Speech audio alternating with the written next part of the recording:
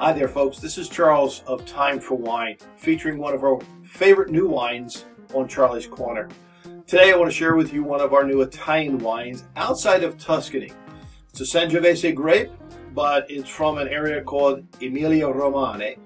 And this is Umberto Cesari's uh, Sangiovese Riserva. I'll share with you what the Riserva means, but it, it is a Sangiovese grape, which we find uh, outside of, of, Tuscany and in some other areas. Um, Umberto Cesari has just done a wonderful job.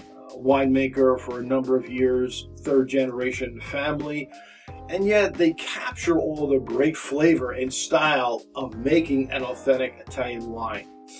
Uh, as I talked about, Emilia and Romagna, two distinct areas separated by the city of Bologna.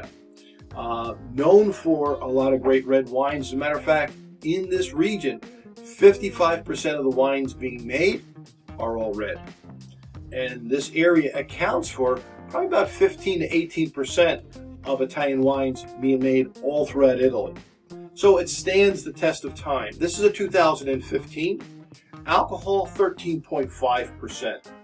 And what's great about this wine, aged 24 months. Uh, they use a process called sur lie. Uh, it's a French uh, word which means that the grapes stay in contact with the yeast cells. More body, more flavor, and uh, then it goes into a uh, process called élevage, and that's going to age the wine, give it more body, more flavor. This wine is superb. I really love the, the notes of this wine and, and, the flavor components.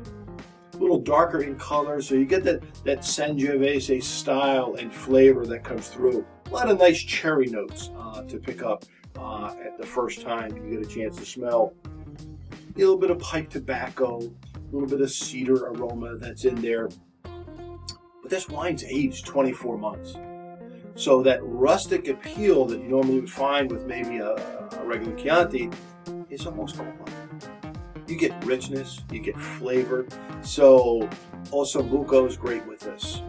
I would do lasagna with this. If you like the bechamel sauce, you, you can have, have that with it.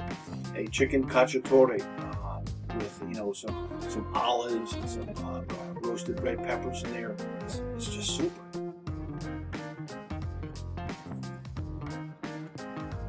Wow. Flavor components, the style of this wine.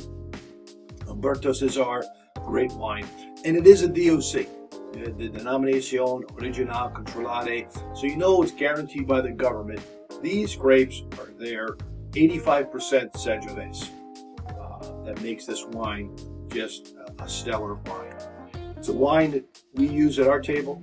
Uh, we've shared with other friends as they want to branch out just not Tuscany for Sangiovese.